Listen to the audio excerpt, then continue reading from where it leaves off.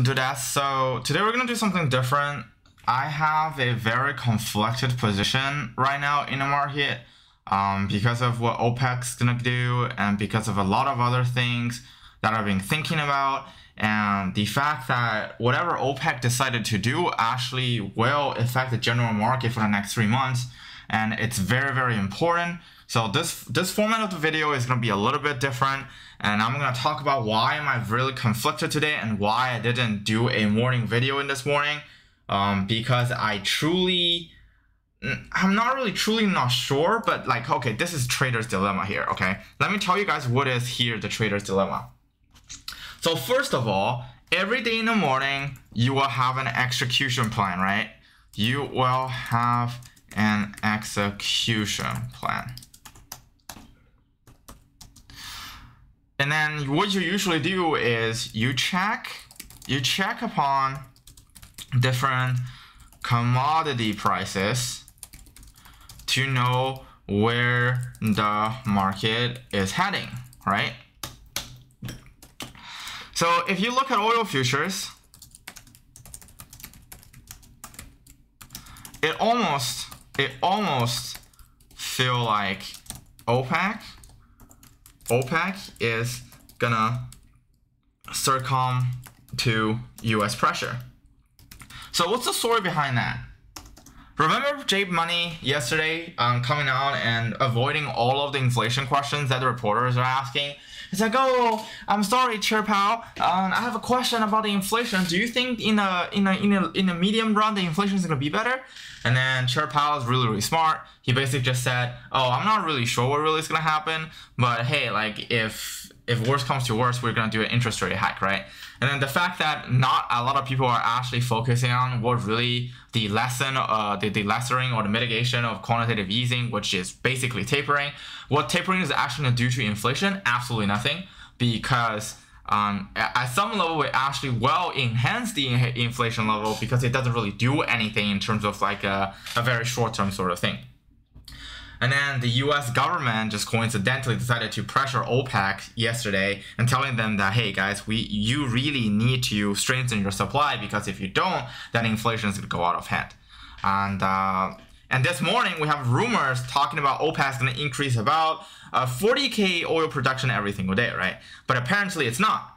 Um, OPEC and Russia is not really succumbing to US pressure and they decided to hey guys, like they said, they decided to stick to oil pr uh, production plan, and then you will continue to see a basically a um,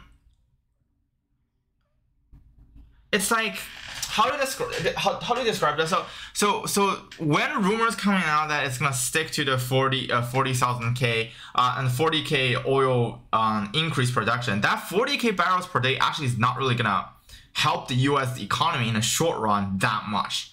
Um, they're basically just stick with whatever, whatever uh, enhancement plan they had um, in June. But the, the US is actually trying to let OPEC members to double their their oil output or raise the oil output by about 80,000 instead of 40,000 because US because the US oil demand and supply are having a huge mismatch. And internationally speaking China is going to run into an oil problem by the end of December. So then this entire hype oil trend is going to continue if OPEC you know agree to stick to oil production uh, which it did. Look at this um, CNBC article. And if it does, then that means, okay, then we go into a dilemma. So if OPEC increased by 40K, then the general economic condition condition does not change at all. Does not change at all. Which means you will have inflation inflation increase will be a staple, right? Will be a staple in the next few months.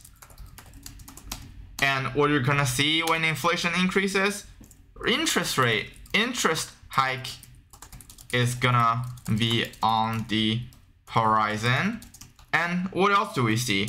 Oil is gonna go higher, but with a lesser momentum, right? momentum after the end of November. Okay. So what is the dilemma here is, um, what we were thinking in the morning when we were trading is, hey, like if they increased oil just a tiny bit over 40k barrels per day, that means the US S&P 500, the US market, has a bigger room to run. So what we're supposed to do? We're supposed to add TQQQ, right? We're supposed to add. And according to Richard Dennis, which a lot of our positions are based upon some of his principles uh, when you're trading futures, is whenever you have 15 days um, like moving up or up, like the stock is ripping, you double your position. So what Richard Dennis is trying to tell us is you should, you should double your oil and TQQQ position, okay? But the problem with that is taper is gonna be facilitated late November. What does it mean by late November by the Fed? Is you look at if you look at the the actual calendar, the effect the effect of taper will come on the Monday of the 22nd. Okay?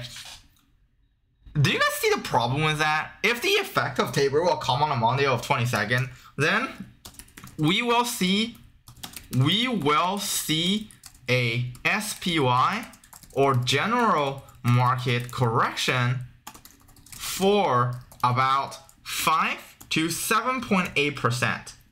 If you guys want to know the detailed math behind it, I'll post on another video. So, what is the rational thing to do?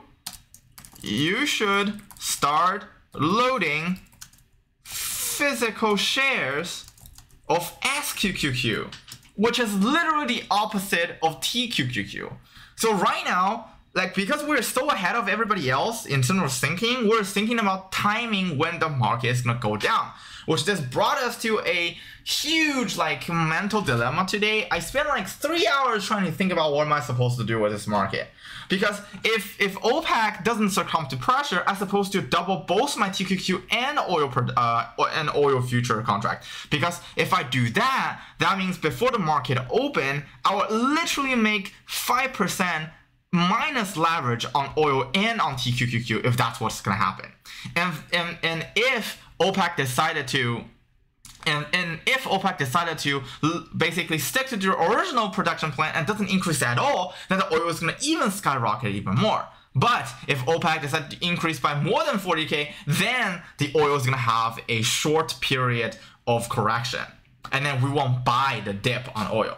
Okay? So like right now, like I have like I'm not this kind of person where I I'm not willing to miss out on this profit. So eventually what I really did is I actually did buy TQQ call because I look at the chart and I was like, I'm pretty confident that SPY will probably have another runner up um, because they're trying to because because that literally because what really happens in TQQ is this, okay? For this, for those of you who are who are, who are telling me I'm a dummy or SP or SPY dummy, what you guys don't see is this movement and then this movement, they're literally just, a lot of people started buying put position on this day. And then what the what the entire market are doing, or the institutional investors, or the people who um who really love to FOMO on the last stage of a bull tail, is they're trying to squeeze out as much profit from the short squeezing action of all of the people who are basically thinking rationally about hey like okay so if they stop buying bonds in the open market that means the yield curve is gonna pile up. That means the entire economy is actually have a correction. So let's buy into this early. But no right now the, the the rule of the game is you should you you have to time it very carefully because everybody is levering their portfolio so carefully with the upside movement of SPY if you look at how SPY is moving for the past 15 trading days, you will see, oh my god, the slope is so high, the most rational thing for you to do is actually contraction. But guess what? when you start contracting, most people are starting FOMOing a bunch of calls. And then we're actually reaching a point where a lot of people are buying for 70 calls. And then if you go look at Tesla, which we sold all of our positions and all of our options on Tesla because we really think it's very overvalued. But guess what happens? We we hop off of Tesla on the first day of short squeezing, and then right now we have a huge gamma squeezing going on on a Tesla. And then the thing is, but but what you have to think about is how big of a squeeze can Tesla actually go, right? And Tesla is a very very expensive stock to short.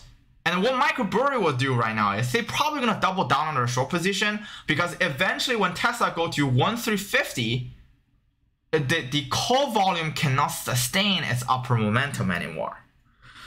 So like right now I'm very confused about what am I supposed to do because on most of my positions I made at least 60% on physical shares and I make over 80% on my option earnings. So what did I do today is I took the pussy route. I actually start selling my positions and start preparing for the market downturn. But by the end of the market, um, by the end of like where market is supposed to close, I started start coming to my fears and my fear of um, you know missing out. And then what I did is I decided to hop on SQQQ, uh, TQQQ again because um, according to my indicator, 170 is actually completely reachable tomorrow. So if tomorrow we see a 170, we probably will you know, be a pussy and sell it off a little bit and play it by ear a little bit by the end of the market.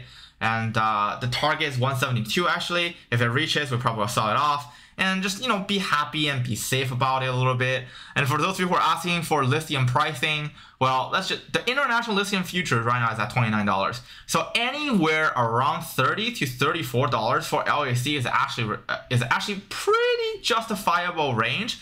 But the problem with LAC is LAC is literally trying to rob another company of their mind by outbidding them. So then they're actually gonna have a spending report by the end of this quarter. So then some investors gonna react and it might have a correction. I do think the entire market is gonna have a correction. Right now it's just it's way too crazy at this point.